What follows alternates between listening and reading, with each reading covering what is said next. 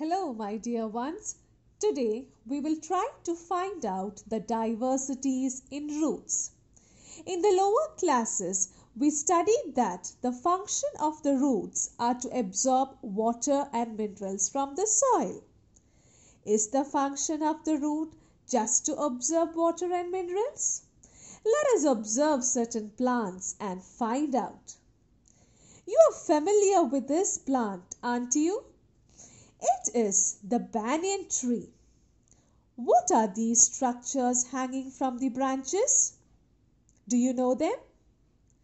They are also roots that grow from the branches and reach the ground.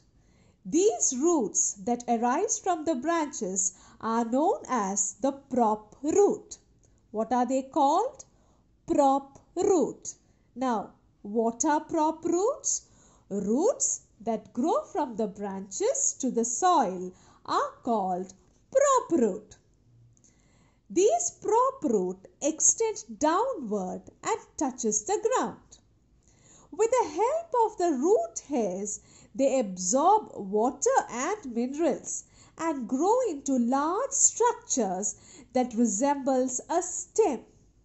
A good example of prop root growing in this way is the great banyan tree in Kolkata, which is more than 250 years old and spreads across an area of around 4.67 acres.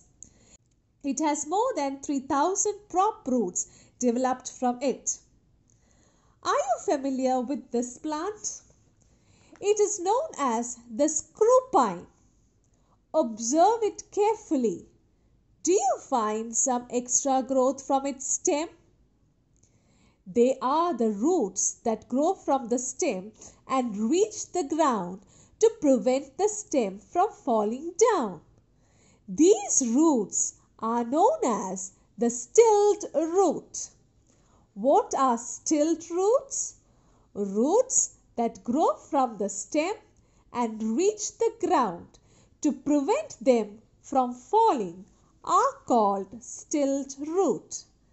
Can you find some more examples of plants with stilt root?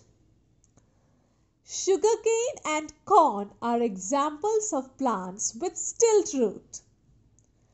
Now observe these plants. Have you seen it? Yes, you might have seen it near marshy places full of mud, mainly near the river banks, isn't it? Do you know their name? They are the mangroves. If you observe the place where these mangroves grow, you will find that there are some cone shaped structures arising from the muddy water. These structures are the roots of the mangroves. The mangroves grow in marshy places full of mud, so the roots cannot get oxygen through them. To overcome this difficulty, the mangroves have breathing roots or the pneumatophores. Pneumatophores help to absorb oxygen through the air. What are pneumatophores? Roots that arise above the soil into the air to absorb oxygen are called pneumatophores. I think you have a doubt now. We studied that the plants absorb oxygen through the leaves with the help of stomata, isn't it? Then why is teacher referring to the roots absorbing oxygen?